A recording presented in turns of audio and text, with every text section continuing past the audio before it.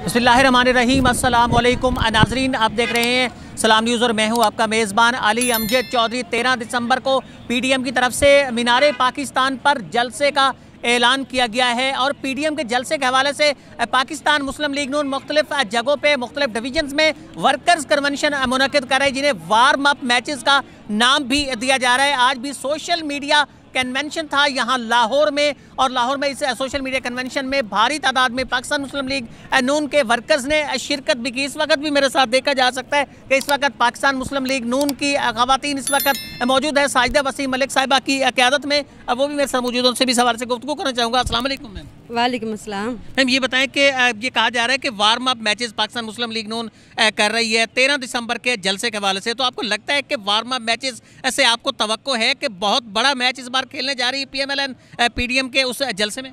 जी बिस्मिल्लाहिर्रहमानिर्रहीम।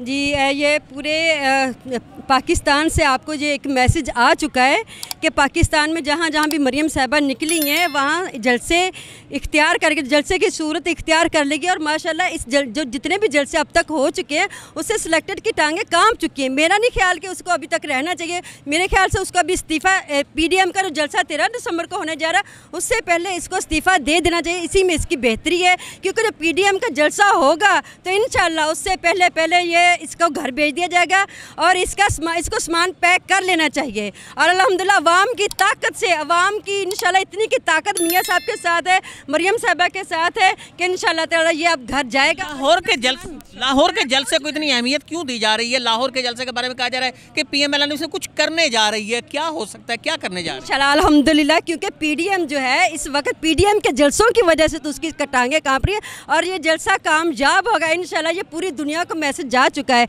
ये जलसा जो है, इसकी हुकूमत, हमारी जो इसकी हुकूमत है, इसका इन ताला बोरा बिस्तर गोल कर देगा और इसको अब सामान अपना पैक कर लेना चाहिए, क्योंकि हमारे जलसे हो रहे हैं, इसी से इनकी टांगे काँप रही है।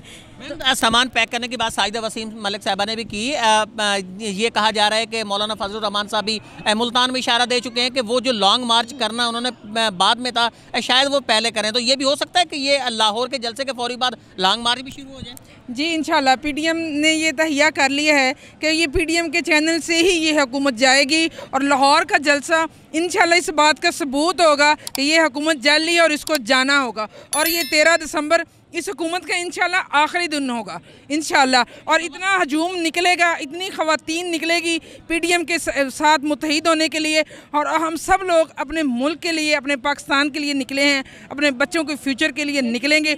और हम जो हैं हम सरों में कफन बाँध के निकले हमें कोई डर नहीं है हमारे पे एफ़ आई आर कटे। भी कहा जाता है कि ये भी कहा जाता है कि पाकिस्तान तहरीक इंसाफ की खातन ज़्यादा मुतहरक रही हैं। माजी में जब वो अपोजिशन में थे तो पी एम एल एन की खातन भी वाकई वो रिकॉर्ड तोड़ने जा रही हैं इस बार। जी इन वो जो है पाकिस्तान तहरीक इंसाफ की जो खातन है वो नाचने में उन्होंने अपना करदार अदा किया और हम इन हम अपने मुल्क के लिए अपना करदार अदा करेंगे मरियम नवाज़ की इन सरबराही में।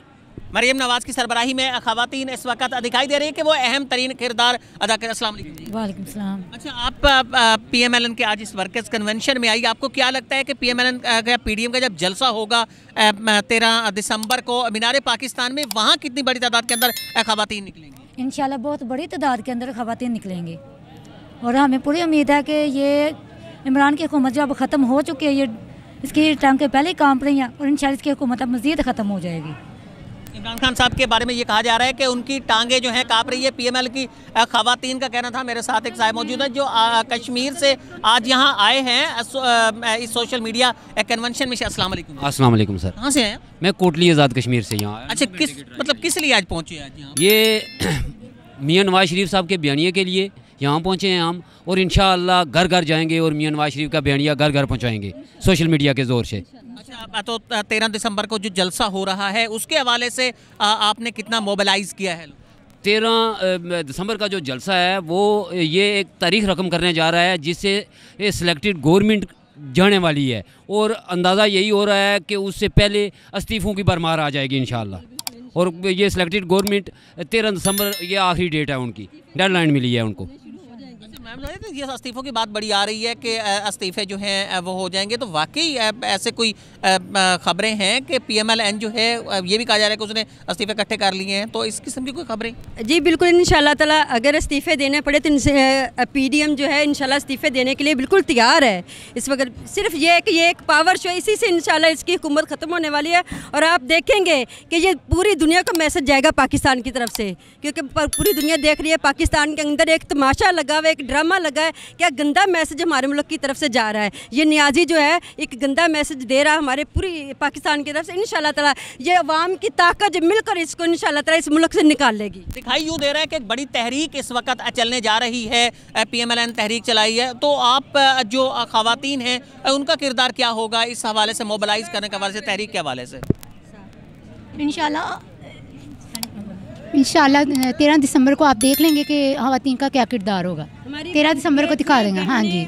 सब फैमिलियों के साथ निकलेंगे गुफ्तु आपने सुनी पी एम एल एन की खातन की जो साजिदा वसीम मलिक साहिबा की क्यादत में यहाँ मौजूद थी। आज वर्कर्स कन्वेंशन में उनका यही कहना था कि पी एम एल एन के तमाम वर्कर्स पी डी एम के तमाम वर्कर्स इस वक्त मुतहरक हो चुके हैं। लाहौर का जलसा इंतहाई अहमियत इख्तियार कर गया है और लाहौर के जलसे में एक बड़ा फैसला होने वाला है। वो फैसला क्या होगा इसके लिए हमें कुछ इंतज़ार करना